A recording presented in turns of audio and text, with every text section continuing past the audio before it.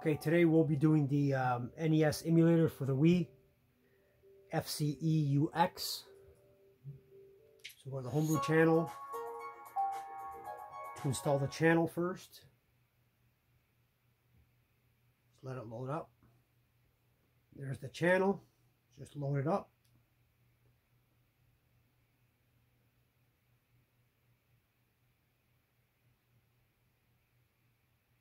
Click install.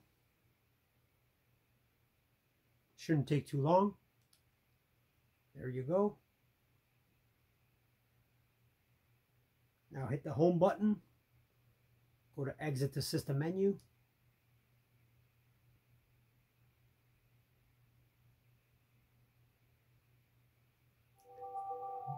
And there's the Nintendo emulator. So you click on it.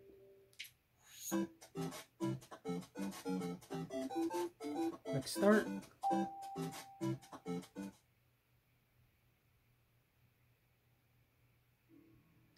there's the ROMs. I've added in uh, 10 ROMs just as, a, as an example. So all the Marios, Robocop, River City, RC Pro Am, stuff like that. So we'll load, um, we'll go Super Mario 2. Click A. And there you go. Now the plus button on the Wii Remote is the start. So you click start. Then the A is 2 and the B is 1. So you press A.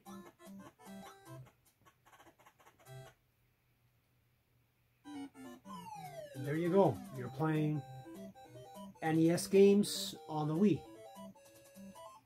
In full screen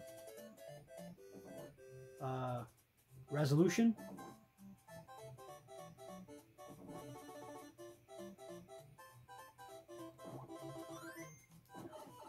Plays perfect, no glitches. Whenever you want to end the game, just press home.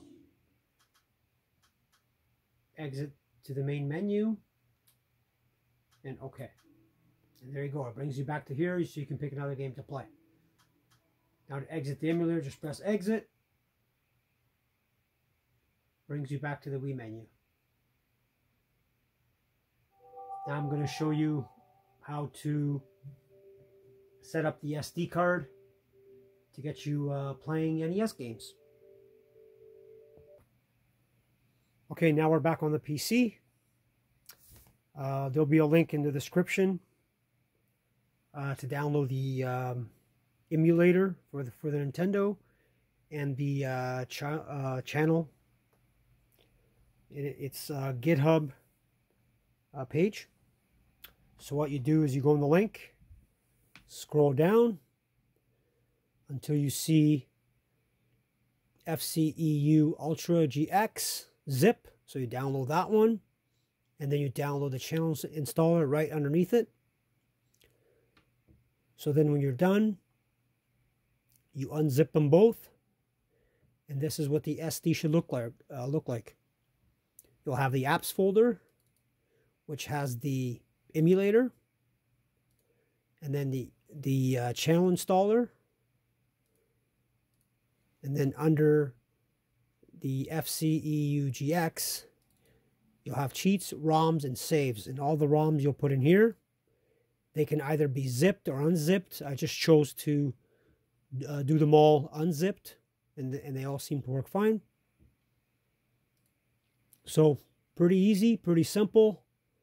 Um, if you have any questions or any comments, put them down below. And um, on to the next video.